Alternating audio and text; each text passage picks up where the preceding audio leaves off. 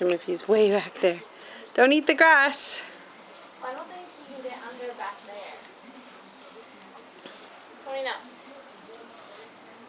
I'm just worried about those ones over there. Oh.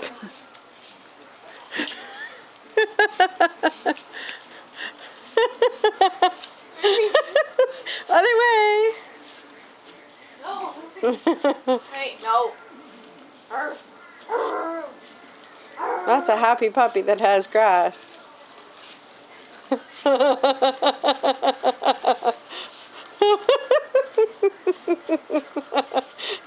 oh, that's so cute.